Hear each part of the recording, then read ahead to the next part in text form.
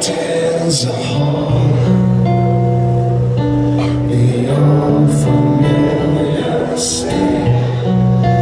Trying to